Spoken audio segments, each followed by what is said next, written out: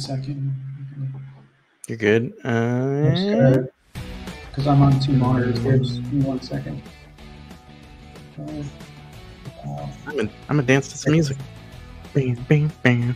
Bing, bing, bing, bing, bing. Hello, hello, hello, my friends. Thank you for joining me on Person Behind the Pages, the show where we get to know the creators that make the things we love.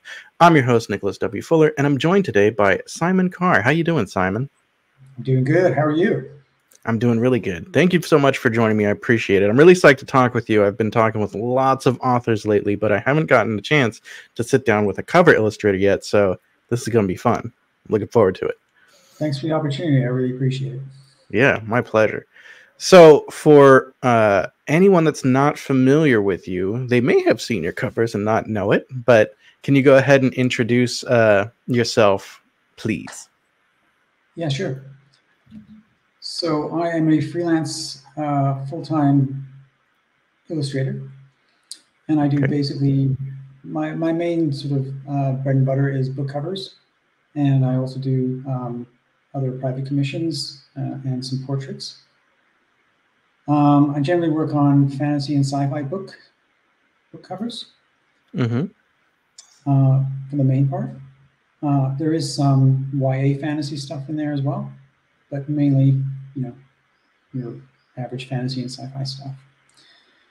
Um, okay, so when COVID hit, I lost my day job, Mm. and I decided that I was going to ditch the soul-sucking nine to five, and I was gonna take the leap and become a full-time illustrator, which is something I've been thinking about for a very long time.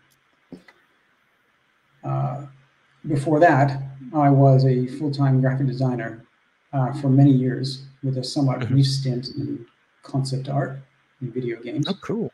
Oh, nice. Yeah. On top of that, um, I'm a bit of a been around the world a bit. I've lived in four different countries, lived and worked in four different countries: England, Australia, Canada, and now Slovakia at the end of 2020. Uh, beyond that, um, I love movies, cycling, traveling, working out, playing guitar. Pretty Nice. standards, I guess. So you almost ran out of English-speaking countries, had to go somewhere else. I If there was the U.S. you could have gone to, but I, did, I, didn't. I didn't try to get a green card, so uh, I didn't. I didn't. You know, do the U.S. route, but pretty much everywhere else. So Nice, nice. That's awesome. So yeah, I'm I'm excited to kind of talk to you, get to know you a little bit better. I'm excited to say hi to Bo Kelly. Hey, afternoon. um, um, but I want to talk a little bit about covers first, because you know I haven't talked to like a cover artist yet. So now that I have you, I'm going to pick your brain. sure. So first of all, I want to share something I don't think I've shared on stream yet. I've definitely talked before once or twice about uh, this book that I wrote a long time ago that is not consistent with the genres that I want to write in the future. But I don't think I've shown you just how bad my cover was. Literally, this was made by an Amazon cover generator because at the time I put this out, I was like, hey, don't judge a book by its cover, right? And like, yeah, in hindsight, I can see how uh, poor marketing decision that was, you know. But um, but I want to talk about this cover, and I want to because it's it's an example that we can use because it's mine, where we can say that it's bad, and we can talk about bad covers. Um, so what uh, what makes that cover not great, Simon? And while you're answering that, I'm going to share it on the screen here. There we go. So go ahead. Like, I mean, I'm sure you agree that this is not the best, most effective cover for this book, in part because it doesn't really tell you anything about what it's about. So, you know, tell us. yeah. I would say, I would say honestly, that's probably the the main thing that that doesn't speak to me. Um, there's no indication of narrative or story. I have no idea what this book is about. Looking at this co- the cover of this book, it could be uh, historical fiction. It could be um, a travel book. Mm. It could be anything really. Uh, I don't really know what it's about at all. Um, other things, it's a little empty, Mm. and the spacing of things is kind of the spacing, of, the spacing of things is kind of similar. Bo chat Um, saying it's poop colored is what made me laugh. Well, yeah, there's that. There's that. There's no striking design. There's no energy. There's no flow. Um, I'm not getting a sense of the the the visuals working with the text at all.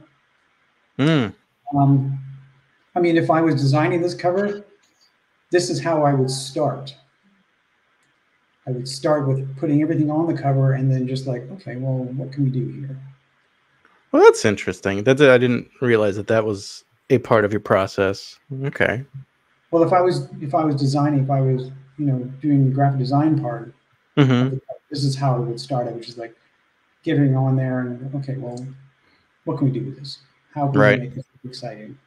Um, the other thing is is that I can't tell how good the image is, what quality it is, but it doesn't look like it's fantastic. Would I be right in saying that? Uh, I guess like it's it's a, it's not a um, high res. uh, So and like so, this cover that I made like thirteen, uh, I guess more like twelve years ago for this book. You know, it's a coming of age historical fiction novel, and it's set in Seville, Spain. So I hmm. went and I found a public domain piece of art that shows like the harbor from Seville, Spain. And that's what that is in the middle. And then hmm. I used this Amazon cover creator to generate the rest. And you know, it yeah, it does a, a poor job of doing the things that a cover's supposed to do. It doesn't it doesn't communicate like genre, it doesn't communicate anything about the story. You you've made good points that I hadn't even thought of about like how the the relationship between the text and the cover is not great. Po- Bo makes the great point that it's poop colored, which I don't think did it any favors. You know, Well, I mean, it think- worked for the Da Vinci Code, right? So maybe poop is the secret sauce. You know, super sauce is poop. Yeah. who knew? All right, Um, but I want to go ahead. what was I going to say? Um, Something a lot more. Uh, uh, um, Thoughtful, No, I, I think maybe it's difficult. To, like if you look at it from a, a small size, if I looked at that across the bookstore, or I looked at it uh, as a thumbnail on Amazon, it yeah, wouldn't, it wouldn't jump out at me and say, "You need to look at me. You need to check me out right now." It's Right. kind of like, eh, right. No, and that's a, yeah. I mean, this was uh, self-published to the Kindle store, and I didn't even think at the time of how important thumbnail version is. You know, and that's maybe the most important. I mean, because the, you know, if you're going to be exclusive to Amazon, as so many indies are, you know, they're going to see it on Mhm. Amazon that way. Um, you know, you it- it's got to be eye-catching. You know. having So- having a quick read on, on something like a book cover is important. Um, Yeah. Quick reads on illustration aren't always important, but in most cases they are because you Mhm. have fractions of a second to get people interested in whatever the product is that you're promoting. Right. So, um, yeah. So let's get into a good cover. you've you've made a couple covers recently that I really really like. I think they do the job that a cover needs to do really well. So let me go ahead and I Mhm. want to start with um I think we'll start with the, the without the text overlay and we'll look at this gorgeous beauty. Much nicer. So for me, one of the things I like about this cover briefly, and of course I'll let you talk about your cover and you can I'd love to hear what you think works well. Like you've of course like you've given plenty of like negative space at the top and the bottom for the author name and the title and that sort of thing. but like yes, as Richard is saying, pew pew, like it communicates genre so beautifully. And not only like not only is it doing a good job of communicating that it's like pew pew sci-fi with the ah, I don't like that actually. I like this one. Uh with the spaceship back there, but like this particular story the main character is in a sci-fi setting, so he's got a uh, he's got his uh, pistol, but it's also sort of a, a science fantasy that's like lots of magic. So he's also got his wand out, and I love that you included both on that cover. Um, so like again, like sort of a, a, a an interesting image grabs your attention, works at lots of different sizes, um, but it's really it's it's communicating a lot to you about what to expect in the story. And for me, like that's what I think makes this a good cover. But Simon, go ahead. Tell us like you know some of the things that you did that that made you happy with this cover. Uh, okay, so there was a lot that went into this cover actually. Um, mm-hmm. There was a ton. So I basically had to design everything that was on this cover. Everything you mm-hmm. see on there, I had to concept out and design. Um, from the look of the actual character, um, the gun had to be concepted out. Looked at a ton of uh, handguns that are you know present in the world today, and handguns mm-hmm. that have been used in science fiction movies and stuff. Mm-hmm. Um, the wand had to be concepted out. Uh, the character's outfit had to be completely char- uh, concepted out. Mm-hmm. the spaceship had to be done, and then also the world, the environment that he's in, the little uh, space station in the background had to be designed. So before you even get to the cover, you have a, a literal crap ton of work that goes in there to make this look cohesive. Mm-hmm. You know, back in the day when I was younger, I would just wing this stuff. Mm. But you can always tell when someone's winged it because it doesn't have the mm-hmm. depth, it doesn't have the cohesion of all the elements working together because they've been designed specifically to work together. Mm-hmm, right? mm-hmm. So that's that's one thing that this cover really has going for it. Um, the other thing is is that it kind of hits you in the face. It's pretty simple. It's like there's this guy, he's got a gun, he's got a wand, he's got a cape, there's a spaceship in the background, he's on some sort of like space environment. Yeah, okay, so is it it's magic with a bit of I don't know, some sort of cowboy stuff going on with mm-hmm. gun and stuff. Um, I'm just trying to think of that that TV series that was um, Firefly, or well, that didn't have magic. Firefly, but... yeah, there you go, Firefly. Had a momentary uh, blonde moment. Um, no worries. yeah, I love that show. Um, so it, it kind of has, yeah, it kind of has some that vibe. Yeah. Um, the, okay. other, the other thing that was really good about this illustration is that there was a few things that I designed on the character that ended up in the book that weren't in the book beforehand. So. Oh really? Um, from what I understand, I think the amulet that he's wearing, yeah. I designed, and that was in the book. And then the tech that he has on his on his um, on the back of his hand, yeah, that was that was in the book. I designed that and thought, oh, that looks cool, and Will and the team really liked that, so then, yeah, let's stick that in the book. So that's so cool.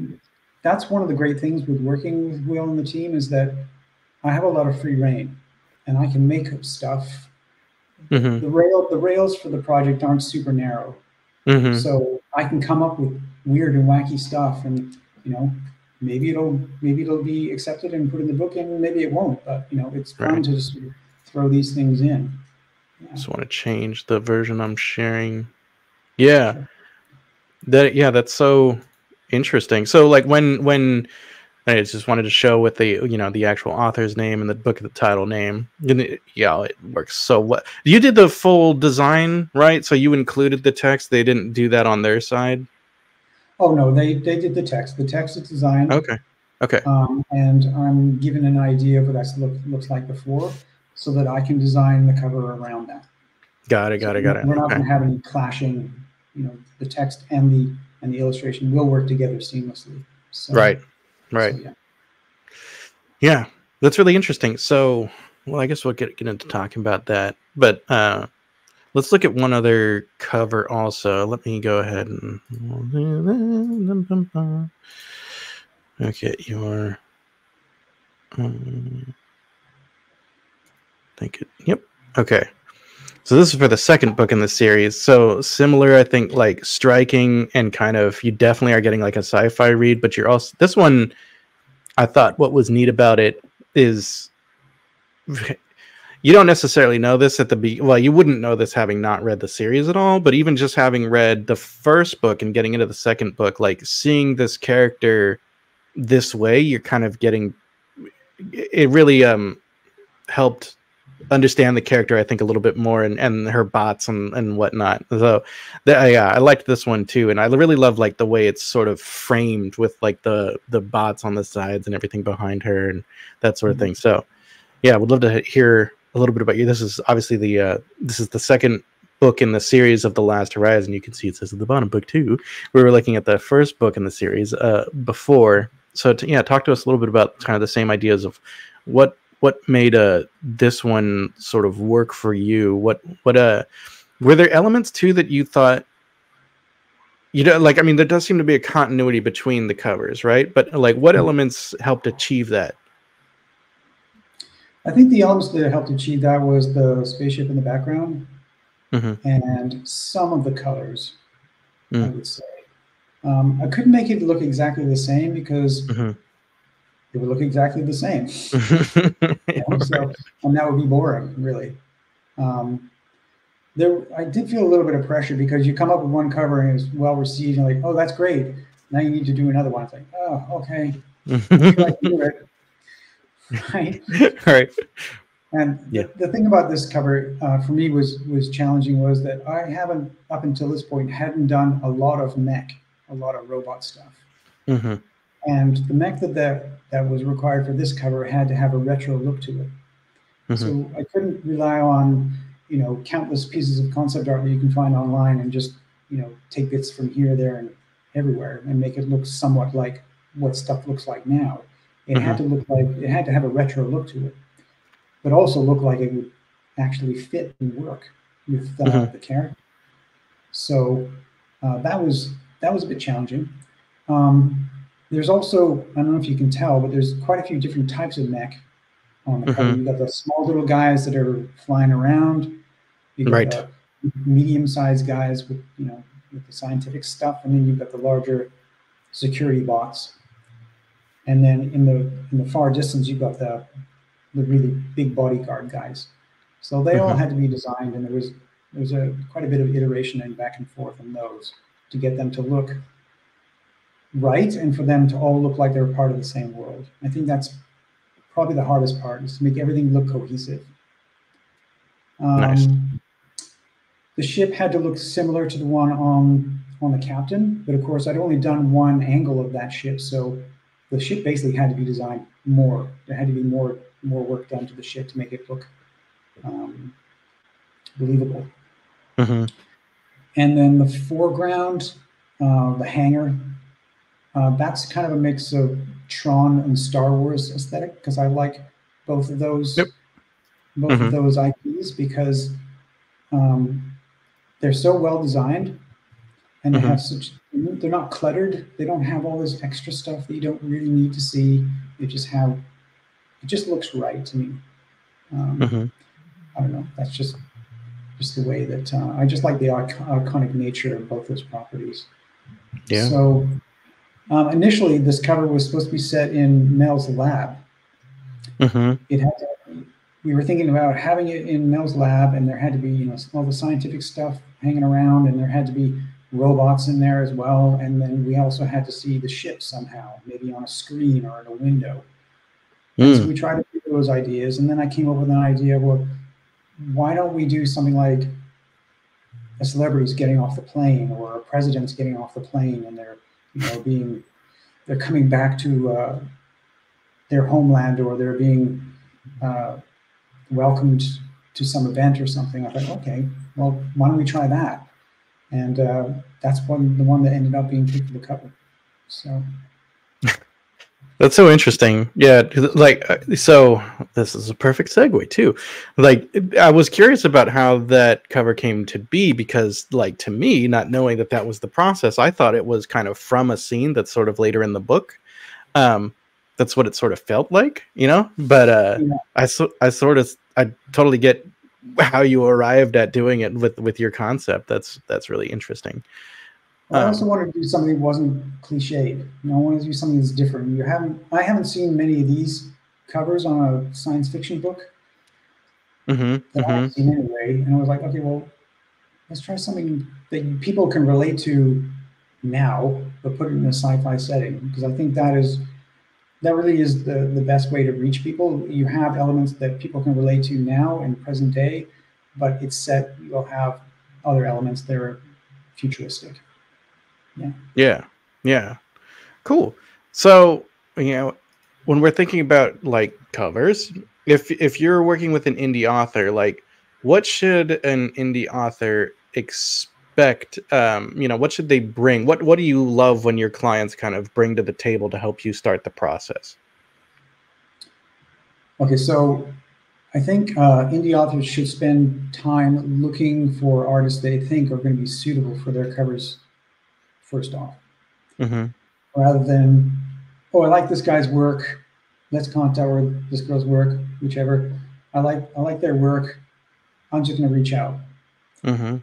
without really thinking through what you want the cover to, to have, the feel you want the cover to have, the way it looks, the design. So the first thing is maybe spend some time researching artists that you've seen, maybe on Twitter, maybe Instagram, maybe other places, maybe the bookstore. I don't know. Um, look for artists who are strong in the areas and the style that you're looking for your cover. That's that's the first thing I would say. Mhm. For example, I mean there are artists that can do everything, but don't choose a landscape artist and then expect them to create a cover that's filled with figures and, and, and vice versa. I mean, like I said, there are artists that can do equal, both of those things equally well, but in the main, most people specialize in one or the other. Sure. That makes sense. Now, once they've decided on that, then craft an email that outlines the scope of the project, description, maybe any loose visual references, a rough Nice. timeline, rough Mhm. timeline, and have some sort of budget, well, idea budget well before the deadline. So in that way, both parties are on the same page very quickly. I've had a number of emails where people have reached out and it's a one or two sentence email saying, Hey, love your work. What are your rates? And I'm like, Well, um, I need to know a little bit more. It's, it's kind of very difficult for me to give you a quote. For example, if, if I went, if I emailed a builder and said, Hey, I love your work. What are your rates? For what? Roof, the, the what are we building? Right, Yeah. right, right. the actual house and extension, uh, you need to give me an idea of what you're looking for. I can't possibly quote on nothing. So um, the other thing is That's a really interesting point, though, because I have seen some other cover artists that have like a, a fixed price, you know, but it sounds like you're a variable price, and it depends on on how much work is involved, which makes a ton of sense because like some covers. Some covers are gonna have like be way easier to slap together than you know this than some other you know when you were talking about the, the cover you did for the captain and you had to really conceptualize okay what does the spaceship gonna look like what does the wand look like what does this pistol look like there's a lot of work that goes into that versus something that maybe is more contemporary and all that's sort of figured out right yeah, yeah, absolutely. I think uh, I, I, for me, it's it's about the complexity. It's Mhm. about um, what the illustration is going to be used for, and who the client is. You know, Mhm. um, I don't I don't think it's necessarily fair to ask someone who's just starting out to pay the same rate as somebody who's well into, you know, well well into the into the genre. I don't think that's necessarily that's not not the way that I operate. Anyway. that's cool nice um, yeah. So um, back to the question. Um, yeah, it's just in my in my case, I have a questionnaire which you filled out um, on my website, which has all this information. It, it takes literally I don't know how long it took you, maybe five ten minutes to fill it out. A lot of right it's right pretty, you know, click this button, click this radio button, whatever. Uh, type a sentence here, there, and that really takes care of a lot of the initial information that I need to to come to the table with an offer. Really, um, hmm hmm so, yeah, that's basically what it is. Um, as as regards to the budget, my budget uh, I'll always I'll say what the budget is, and then these things can always be negotiated. They're never set in stone. So Sure. Okay. Cool. Cool. So I want to talk a little bit about uh, your process. I, we've kind of been talking about it already, but uh, more. Let me see. Let's make this look good. I want to talk about you know what it's actually like while you're doing the work, and you have this really cool YouTube channel that I think is underappreciated. People should go check out your YouTube channel. But you. like, we can, you can, you have a whole walkthrough of like making some of the covers you've made, which is really really neat. Um, so from the like author's perspective, though, I guess when you're kind of at this point, most of your back and forth with the author is is mostly done because yeah, you're showing on the screen kind of your different uh concepts you had. What I can't remember the what the phrase you had for what you called those on the top left. those are thumbnails. You should, okay, so just thumbnails and you kind of rough them out, right? Yeah, they're just uh, small little, super small little um, line drawings just to Mhm. get the point across, to get the idea across. I try to make them as uncluttered as possible so it's easy to really see what's going on. Mhm. And you're not investing a lot of time into it. Um, and then people can make a decision pretty quickly. Right, right. So then, yeah, you're the author Klein is making a decision on like which kind of direction from these different thumbnails to go, and then you're sort of you're you're building that out. You were showing it was showing on the screen, um, kind of the the front and back uh, as a thumbnail, Yeah. and then so what are we seeing right now? Like in the in the sort of main focus of of again your YouTube video, you're working on the illustration. Is this the final on the top left or? No, the top left is the, the stage after the thumbnails. That's the color sketch. Okay. And so once I finish the thumbnails and um, we've decided on the direction that we want to go with layout, then I will start putting some colors down so that the, the author can see the relationships between everything and how it's going to look potentially at the end of you know at the end of the process. And I find that um, this is really helpful for not only me because I can figure everything out, but also for the authors so they can really envisage what roughly it's going to look like. Yeah, love it. So, and is that thumbnail part where we were looking at earlier? Is that the um, kind of the first step? Is that the first thing that you have back and forth with the author of, of determining what things are going to look like? Yeah, that's that's the first step um, between me and the author. And generally, generally what happens is I'll come up with a bunch of thumbnails that are chicken scratch, that that even I can't really tell what's going on. If I if I if I do the thumbnails and then I go away and have lunch or something and come back and I'm like, what the hell is that? So then I go over them again and clean them up so that uh, I know and you know the author or the client will know exactly what I'm trying to convey here. And then once we have the color sketch, now you're seeing um, one of the reference shots that I took, which is Mhm. my wife. Who, my wife kindly kindly volunteered to be nice. part of the reference reference uh, photograph stage, uh, which is after you've done the color sketch. Then you, well, I do. I look for reference online. I also always shoot my own reference photos uh, for things like hands and faces and body proportions and you know Mm. getting the nitty gritty things down that people uh, when they first look at a cover and if something's wrong they'll know immediately. That If uncanny hands- valley, right? Yeah. Yeah, if the hand's wrong, people will know within a second. If the face is wrong, they go, "Yeah, something wrong with that face." Mhm. So you really have to nail those things. They have to be spot on. Yeah. Yeah. Super cool. And again, like I just really love seeing the art come together this way. Right? Like yeah. In uh, this big like time lapse. How long the video is 25 minutes. Uh how long did it actually take you to go the full distance with this cover that we're seeing here? This one, this one was a bit of a monster. Uh, I uh, I think this took about fifty something hours to do. It was, it was a, it took a long time to get this right. Um, and that's that's after you've done like reference photos and the color sketch and everything, right? That's and the concepting of the character and all the elements that go with the robots and yeah, there's a ton Yeah. of work that goes into this. Yeah. Absolute ton. That's so cool. Yeah, you. you guys got to go check out his YouTube channel because there's more of this for lots of your covers, and it's just super fascinating. As someone that like has zero talent in the visual arts, I th- you know, I think it's especially fascinating. Um, Well, the YouTube channel is set up um, to try and help other artists level up their game and, and see, you know, if there's anything they can take away from that, they can learn, they can, oh, I never thought about doing that, maybe stuff.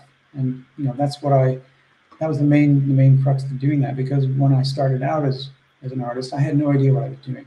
I was Right. literally scrabbling around in the dark. Um, obviously, this was pre-internet, and Mm. trying to get that information was like very difficult. Nowadays, it's much much easier, but Yeah. even still, if you're only looking at for YouTube stuff, cobbling cobbling all that stuff together and trying to figure out some sort of like plan to improve, or even knowing what's good and what's not good, that can be difficult. So, Right. You know, that's Right. that's the whole idea behind the YouTube channel. yeah, no, that's all. Yeah, it's amazing these days where you can just you can literally find a YouTube video on anything that you want to learn. But Yeah. yeah, I think we're Literally, both we're both old enough to to remember when that wasn't the case, right? Oh God, yeah. Um, I mean, the internet is great, and sometimes not so great. yeah, yes, yes, yes. Okay. So yes, uh, Simon Carr, but you know, like you, you started, you didn't know what to do, but now you're doing covers for New York Times bestselling authors. So like you've figured some things out. I love that we've we've talked about kind of your process and how it starts with uh, that questionnaire, and then you're doing multiple elements there once you really kind of finish the negotiations on what your rate is going to be and having an understanding of what the uh, the author needs. Um, you do those thumbnails, you do that color sketch, and then you get into doing the the, the full cover. Um, super cool. We've talked about you know how that is your your process. Now I want to get into like a little bit more meta, a little bit. What do you see as some of the trends in cover design right now? I have to imagine that that's something you try to kind of keep an ear out for and, or an eye out for and, and see like what are other artists doing and what what is working kind of in the industry in the genres, right? I think generally, um, outside of the science fiction and fantasy art, there's a lot of vector stuff going on. A Hmm. lot of um, a lot of making the, the the text and the titles have uh, illustrative flourishes and Okay. designs with, within them. So the Hmm. text becomes far more integrated into the actual illustration as well. I've seen a lot of that going on. Not so much, like I said, in the science fiction and fantasy genres, but certainly in other genres. Um, a lot of it is you know, bold and iconic, uh, Hmm. heavily contrasted images. Hmm. Um, still lots of photography hmm um, which is fine. Um, and now, unfortunately, a flood of AI covers. Well, that was going to be the next thing I want to talk about was yeah, generative AI in cover design, and I'm just just going to say that and let you speak. you know, Well, a lot of people have already, you know, uh, thrown their two cents in here. Um, Sure. And you know what I'm going to say isn't isn't all Mm. that new. I mean, generative AI is one of those things that it, you know, the cat's out of the bag. Pandora's box is being opened. sure, you know, it's there. We're going to have to deal with it. It's like COVID. It's always going to be there. We're just going to have to deal with it now. Right. Um, obviously, it's caused a huge disruptive shift in the book cover and illustration world in general. It's cut a lot of uh, lower tier jobs out, which is terrible for people trying to get into the industry. Because generally, generally, that's where illustrators cut their teeth on the on the, the lower tier jobs. A lot of those are going to AI, which is extremely unfortunate and not happy about that, obviously. Um, but now that it's here, I think the first thing that needs to happen is all the legal wrangles need to be worked out. Hmm. So AI companies need to stop stealing people's uh, ste- stealing people's work and literally taking you know their livelihoods away from them. Need to stop doing that. They to stop scraping the internet.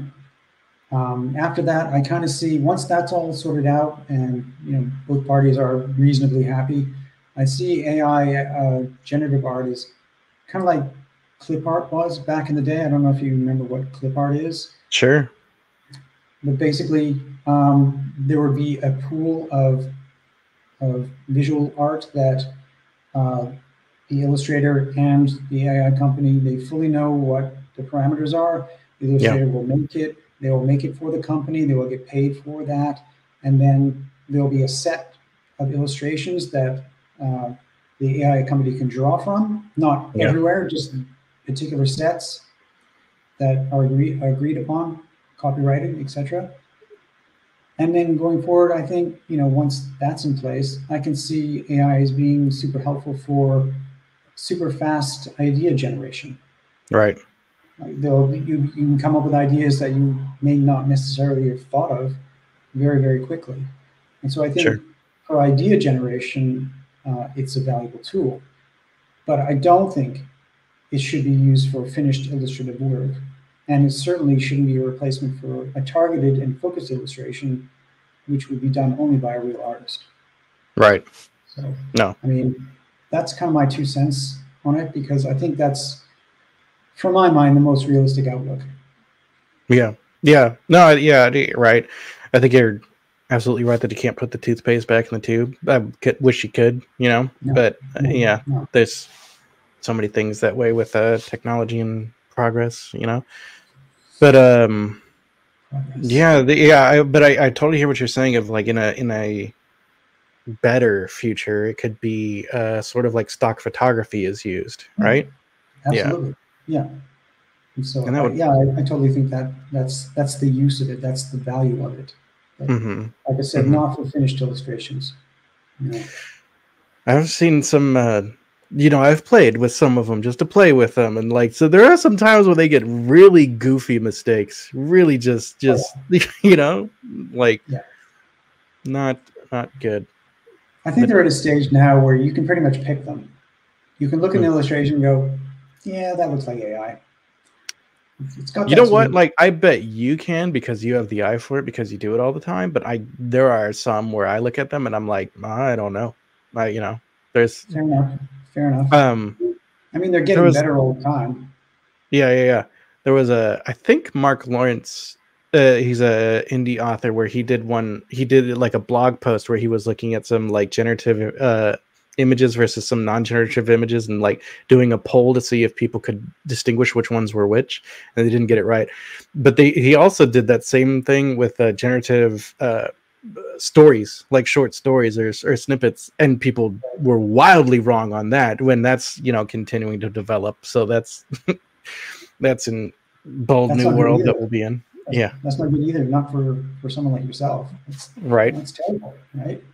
Yeah i think they'll get to a point where there'll be certain markers where publishers will receive manuscripts and they'll get through a few pages and go yeah i don't think so this looks like an ai looks like an ai deal to me. So hopefully, try right? Try again. yeah, yeah, yeah.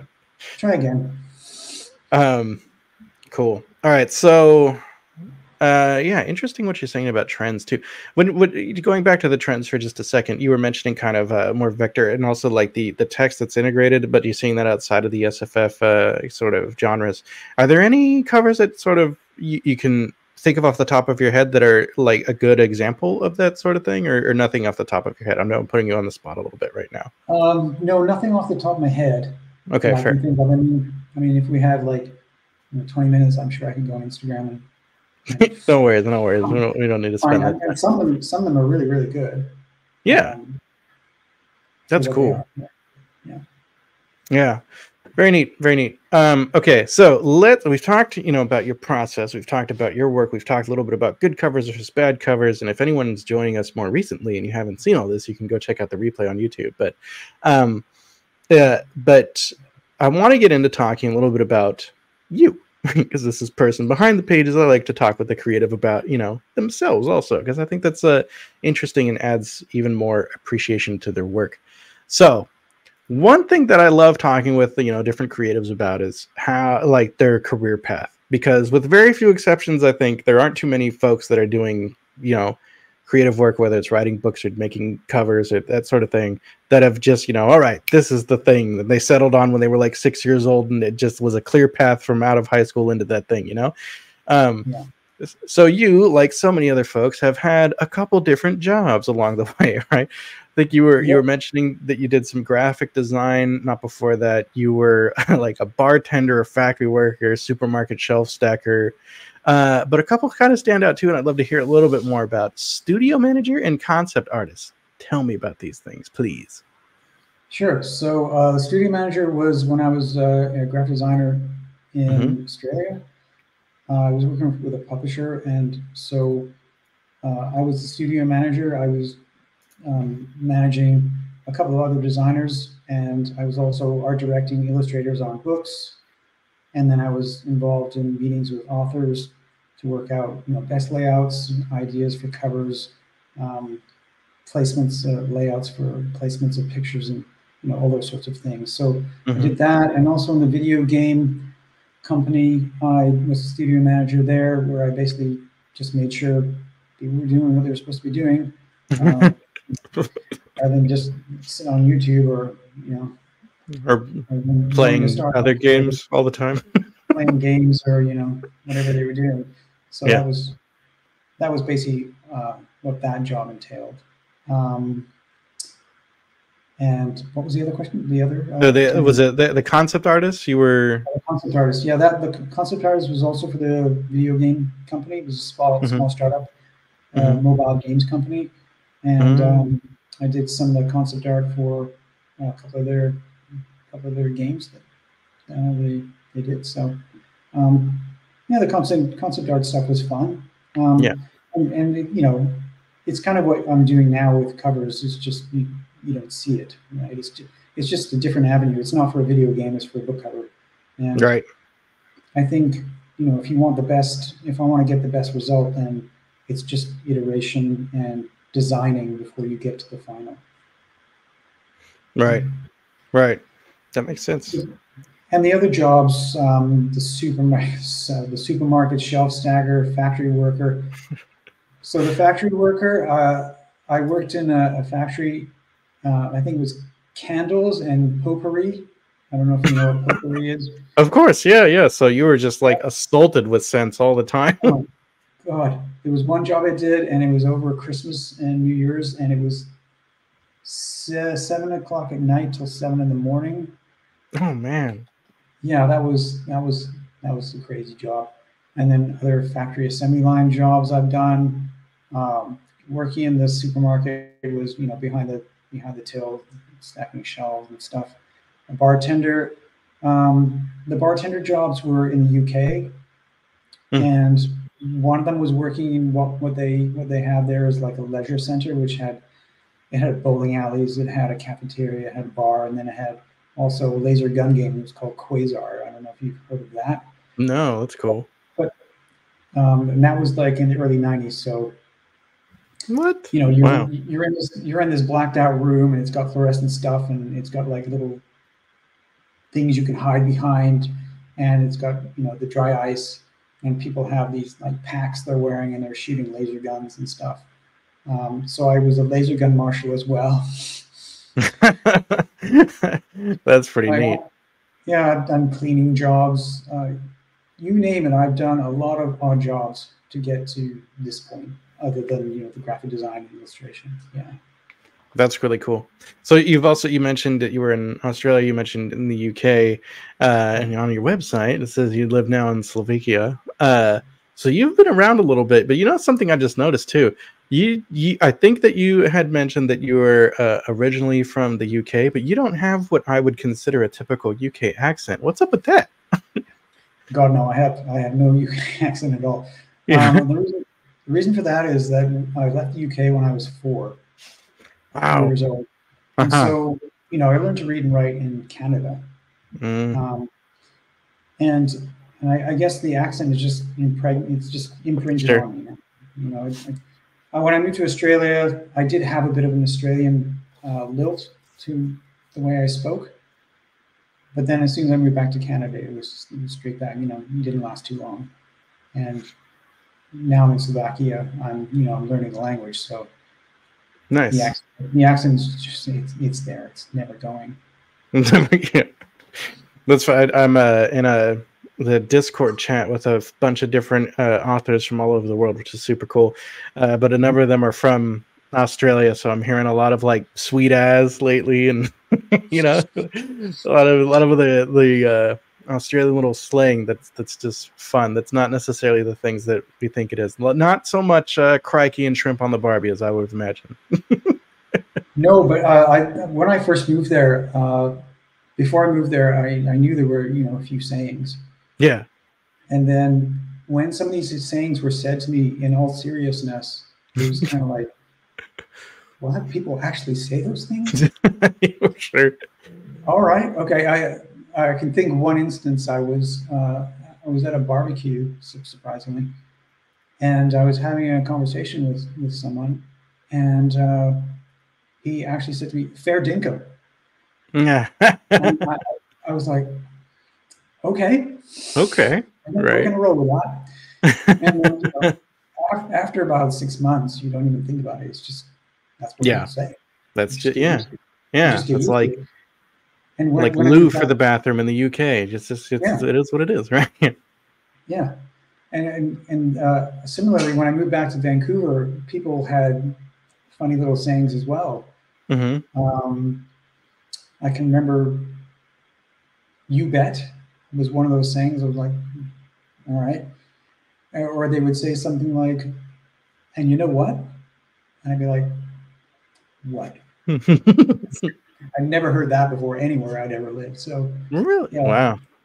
e- e- every every place I've lived has little quirks and you know things that people say that you just get used to over time. Yeah. All right. We're gonna go just slightly off the rails because this is uh this is interesting to me. One of the things I think is fascinating about different parts of the world too, it related to that language in a different way though, is like the things that sort of people take for granted in the area that they live in, right? So Mhm. I I lived I grew up in Southern California and then I lived in Central Florida. Now I live in Wilmington, North Carolina, and occasionally it might snow here, but I haven't lived in a place where it's like proper cold at all. So a friend of mine that used to live in Florida, he was thinking of taking a job that was in Vermont, and they they have very extreme, well, extreme to me, cold, you know, um, there, you know, they have actual furnaces that burn oil, which is just not something that you have in Florida at all. And it was like, it was a, a whole, I know you're laughing because, like, you know, for someone that lives in the cold, like that's totally normal, but someone that doesn't live in the cold, it's it's not right. So like, Yeah, but yeah. like the maintenance for that sort of thing, and like the the the way of life, and and like uh, I heard somewhere else that like in uh, other cold places like that, the windows will freeze shut, which like I don't about the windows a ton, but like something I haven't experienced, you know. But I have experienced hurricanes. So anyway, like you living in these literally different corners of the globe. Uh, are there any things that sort of stick out to you as like as something that's so uh, maybe not unique, but like special about that area. That's like, I mean, I have to imagine in Slovakia, there are certain things about, uh, you know, life there on a daily basis that is just wildly different from life in Australia, besides the obvious of like the language, but things that like, things that are, are so routine that people don't think about but it's there and when you're living there it becomes something that like you know you're you are you are suddenly very aware of you know Yeah, yeah, absolutely. So when I moved to Australia uh, from England, in England, it's it, it's quite usual for people to have double glazing on their windows, okay and for the houses are all insulated. Mhm. Right? And when I moved to Australia, there's houses there that have no insulation. no okay They have no insulation. Mhm. So when people when I when I first got there, I hear people complain in the winter, "Oh my God, it's eight degrees, so cold." I'm like, eight degrees? That's it's not really that cold. If your house isn't insulated, that's pretty cold. That's pretty. Yeah. So that that's one of the things that that really stuck out at me when I moved to Australia. Apart from um, the food was different and uh, the way That's- people spoke. It's a perfect example because, like, I'm sure, like the people that live there, that's that's that's of course they're not insulated. No one insulates their homes. But yeah, to me too, that's like, are you kidding? Like, yeah, to me, it was like, oh, that's completely bizarre. Why wouldn't you insulate your home when you're building it, it to me it just seems so rudimentary. But um, yeah, like I had a house in Australia that was built in the '60s, and there was no insulation in this house uh, because Wow. we renovated it. I renovated it. It had a it had an old uh, heater in the living room, hmm and we took you, you couldn't get parts for it anymore. That's how old this thing was, and so we Mhm. took it out, and there was a hole. There was a hole between you know the, the drywall, the Gyprock drywall, and the outside brick, and there was nothing. It was just a hole. So I could I could actually you know take one of those bricks out, and I could see outside in my living room. That wasn't a window, so that was a little surreal. Yep. Yep. know. That's wild. That's really interesting. Thank you for sharing that. So, uh, put the Yeah. on. So yeah, we you've been all over the place. You're living in Slovakia now. You've you've done all these jobs. You're now like a, a full time freelance artist. I think how what percentage of your work is book covers? What percentage? Oh, okay, let's have a think about that. I'd say it's at this stage it's 85 to 90 percent. A lot, Um, a lot. Yeah, yeah. Okay. Yeah. Cool. It it wasn't like that when I when I uh, when I started. Hmm I started I started uh, doing freelance illustration as a side gig in 2016, and that was a lot of uh, TTRPG stuff. Oh, cool. Uh, Okay. Yeah, and uh, typically that's where a lot of artists in, in the genre that I work in, that's where they start. hmm and you know you're doing character illustrations or you're doing full illustrations and it's basically where you cut your teeth um, there isn't you know huge amount of pressure Mhm. um, and the jobs aren't terribly well paid but at that stage you're just you're hungry and you you want to cut your teeth and you want to you know get some jobs under your belt so hmm So I want to hear a little bit about like what your day to day is like and your kind of daily routine, but also like, um, how you know being a full time freelance artist. Like when you made that leap, uh, how how did that feel? Okay so um, can i swear on this on this you can now. Yes, go for it. Yeah. Uh, I think I think it was a, a balance between being scared shitless hmm and um, and not wanting to have to look back years from now and, and be full of regret. And so for me, the weight of regret was heavier mm than the risk of doing this. Yeah. I I've wanted to do this since I was like, you know, a little kid. hmm And, And you're not getting any younger, right? Uh, Yeah. No, I'm not getting any younger, and I was just like, well, when am I getting? When am I going to do this? When am I going to stop taking the safe road, the Mhm. comfortable road, and you know actually make a go of this and Yeah. you know, try and do this for real? And for me, it was like, well, if I don't do this now, I don't think I'm going to do it because as you get older, security becomes more and more important. Hmm. Uh, when you're in your 20s and your early 30s, it's not so much of a big deal, but when you get up there, then security does become a big deal and it becomes harder and harder to break away from your comfort zone. Right. At least that's what it was for me anyway. Yeah. And so when I lost my, my day job in 2020, it was kind of decided for me. like, okay, well, you can go back to doing the comfort thing, but being, you know, crazy unhappy doing that and trying to Mhm. cram, trying to cram doing the illustration in on weekends and evenings, Yeah. or or you can, you know, go for it and and do that. And so for me, it's like, well, I'm going to try. I'm going to try and see what happens. At that point, were you already doing some freelance like on the side, or was it, you know, did you have to start from absolute zero when the day job kind of uh, ended? I did have some freelance on the side. I had Okay. some clients, a couple of clients I was working with, but I was stressed. It wasn't enough to live on. Sure. Um, and it wasn't, at the time, I was working on some historical fiction stuff, some World War II stuff, No, interesting. As well as uh, some book covers with um, an author that I've worked with for many years. Um, and the, the historical fiction stuff is it was interesting to work on, but uh, it's not really the way I want my work to go. Mm. Um, and uh, the, the crazy amount of detail and research that, that's involved with that, um, you really have to be into it um, to sort of deal with um, getting all the details right. And Yeah. it's interesting. It's interesting for me, but uh, it's it doesn't get me out of bed in the morning, if you know what I mean. I uh, I I definitely have some understanding of how like historical fiction might be kind of fun for a while, but then maybe not something you want to do over and over and over and over. Yeah, yeah, Yeah. I get it. So So that, So yeah, so no, I, I didn't I didn't have um, a huge safety net. It was like, okay, well, uh, now you need to uh, put your put the pedal to the metal and um, get this going. yeah. So what is uh what is the you know what what's getting you out of bed in the morning now? What and what does what does the day to day routine look like for you now? Okay, so uh, my routine, um, my my golden time is the morning. So I never used to be a morning person, but I basically am now. And so uh, my alarm goes off at 6 a.m. I get up around 6:30. Um, before I get out of bed, I meditate because that just just evens things out for me mentally. Good practice. Um, yeah, it just it just works for me. Um, and then you know, uh, and then it's straight into the work. It's basically I, I review um, what I've got to do for the day.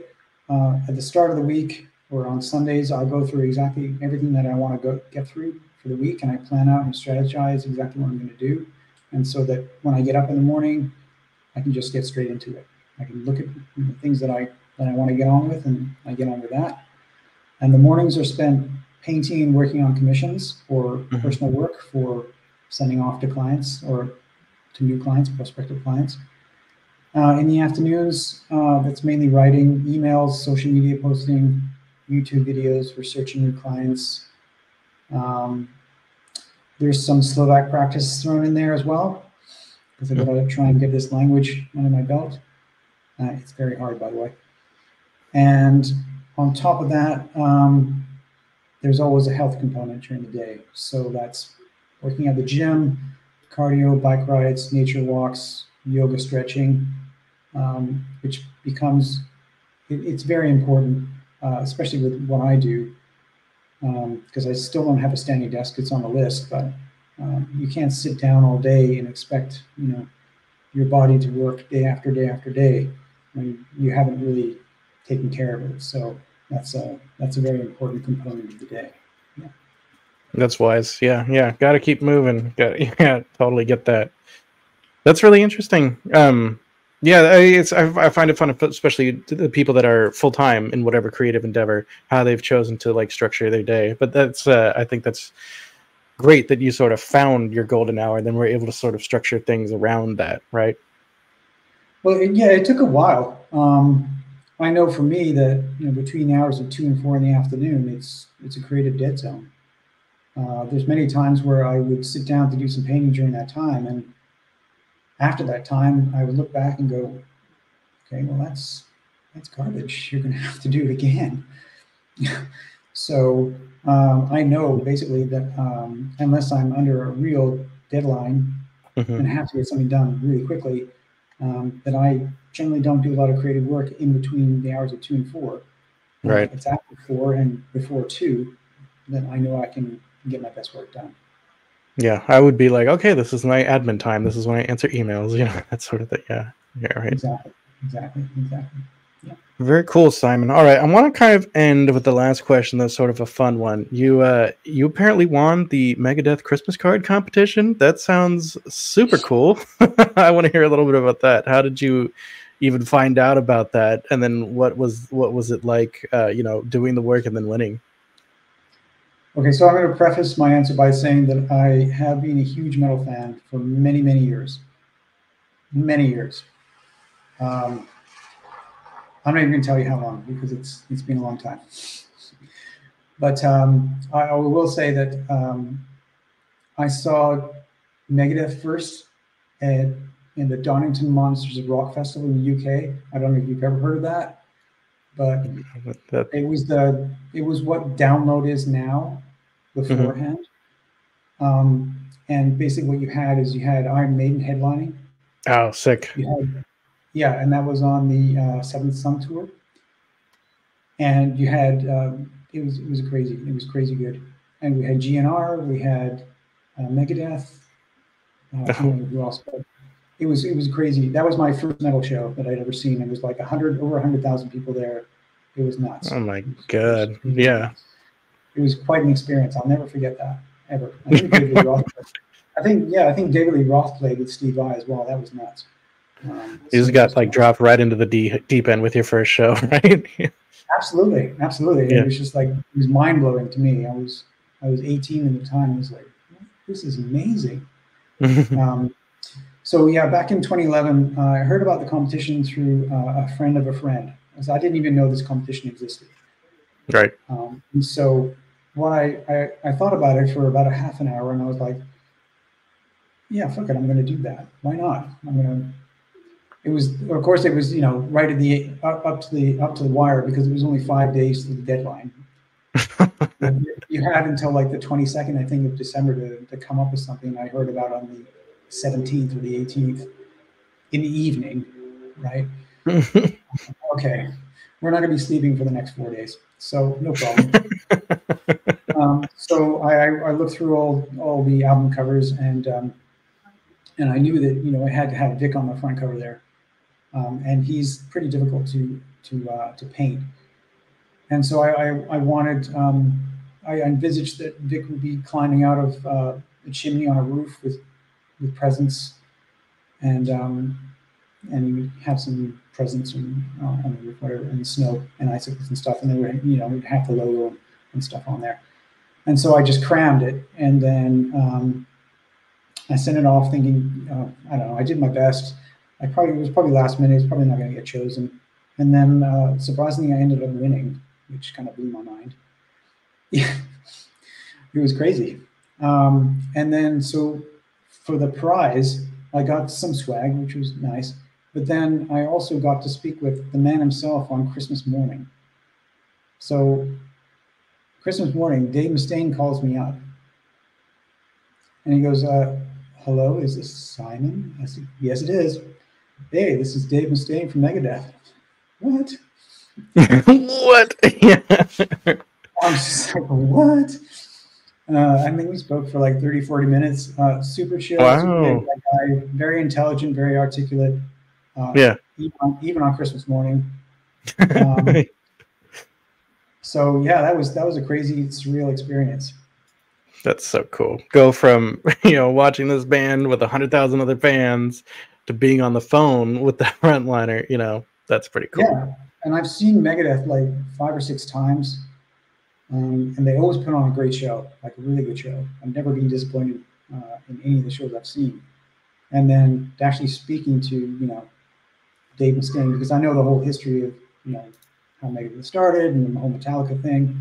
Um, so to me, that was just uh, it's just one of those you know things you're never going to forget. That's rad.